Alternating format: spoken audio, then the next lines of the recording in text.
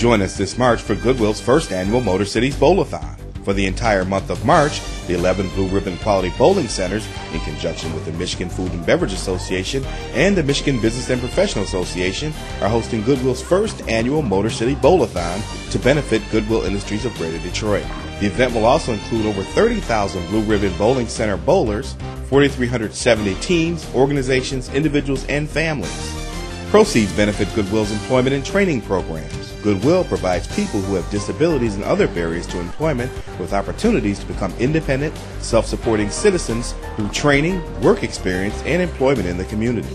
Help us wage the war on poverty through the power of work. Submit a one to two minute video of your team participating in the Bowlathon and win our YouTube Video Award. All completed videos must be uploaded for judging by April 4, 2008. Goodwill and Blue Ribbon Bowling Centers will judge the completed video for enthusiasm, creativity, inclusion of sponsor logos, and bowling center name.